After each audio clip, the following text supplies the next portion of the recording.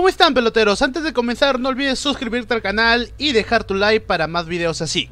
¿Cómo están amigos? Comenzamos hablando de la U ya que Ángel Comiso fue presentado como nuevo técnico crema y esto dijo. Cuando me fui de universitario di una sola entrevista y manifesté lo bien que estuve aquí.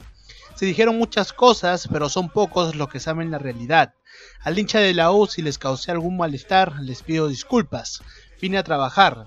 La U por lo grande que es tiene la obligación de pelear el título. De ahí a que salgamos campeón ya se verá, pero vamos a dar pelea. En la selección peruana Advíncula tiene un esguince grado 1 y va a llegar bien a la Copa América, y si lo guardarán con Colombia es por la precaución. Guerrero tiene un problema en el hombro por un golpe y un corte de un centímetro. Hurtado tiene un golpe en el empeine. Zambrano y Pretel están en la última fase de su recuperación y Farfán y Yotun ya se encuentran recuperados. Si quieres estar al tanto del otro amistoso, en la descripción les dejaré un enlace para que vayan a verlo y también les dejaré un enlace para que descarguen la aplicación de OneFootball. Vinicius Jr. sería reemplazante de Neymar para la Copa América. El delantero del PSG sufrió un esguince en el tobillo derecho. En Portugal señalan que Alianza Lima no venderá a Quevedo por menos de 1.7 millones de euros, que en dólares serían unos 2 millones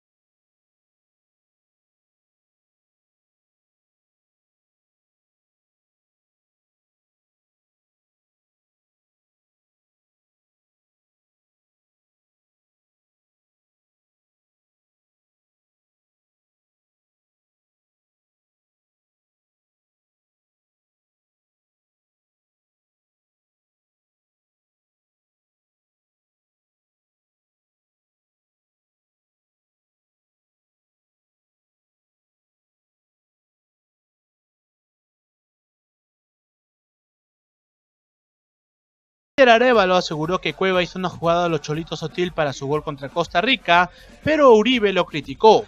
Todas las opiniones son respetables, pero cuando uno magnifica las cosas le hace daño al jugador. En el gol pone en manifiesto el gran talento que tiene, pero la productividad durante los 90 minutos de juego dejó dudas, señaló Uribe en Fox Sport Radio Perú.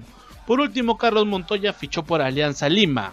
Bueno, eso es todo por mi parte, espero que te haya gustado este video, si es así regálame tu like, no olvides suscribirte al canal que eso me apoya bastante y compartirlo con tus amigos. Por aquí te estaré dejando mis redes sociales, ya que saben que yo tengo Twitter, Facebook e Instagram para que vayan a dejar su like y seguirme. Un abrazo.